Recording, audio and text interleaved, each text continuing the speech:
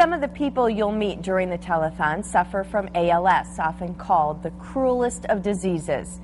ALS affects your muscles, even your tongue. Eventually, you can't move a muscle, while your mind stays sharp as a tack. Recently, I met Peggy Driessen, who lives in the Kaukauna area.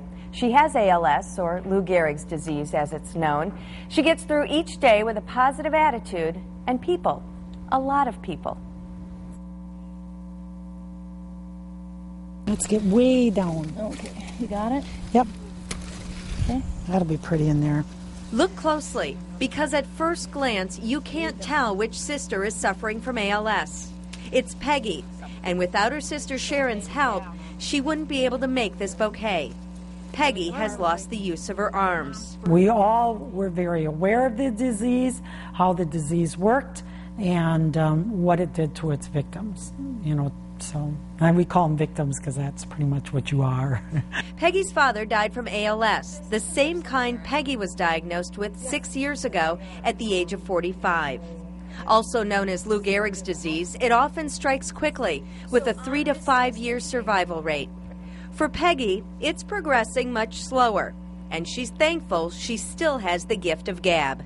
right now, my neck is affected, and my speech um, at the end of the day, when I'm tired, it becomes soft and a little slurred because you get charley horses in your tongue, and when you get charley horses in your tongue, it thickens and it makes you talk like a drunk. And that's how you sound. And then when you lay in the bed, every time And without the use of her arms and shoulders, sleeping became painful you until she got her new bed.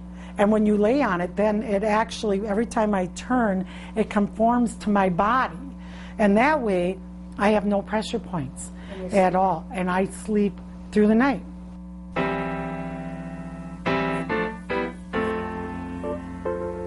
So is the disease cruel? Yes. But it has brought a lot of good things into my life? Absolutely. Peggy says she's not a depressed person. When she gets down, she calls on her friends to lift her up. And in her world, that's about 100 people. A program called Share the Care. There's 12 new jars of food chili, chicken, um, sloppy joes. Peggy already comes from a big family, a lot of brothers and sisters, but it's her extended family in the Share the Care program that allows her quality time with her husband, two sons, and daughter.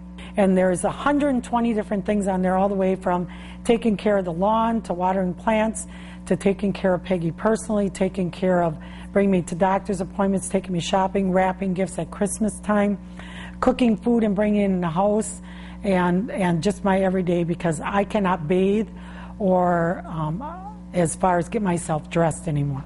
It's a rotation that gets everyone in once every two months. That way they never get burnt out and they're always excited to see Peggy and said, oh, I got to go take care of Peggy again. Lean on me when you're not strong, and I'll be your friend.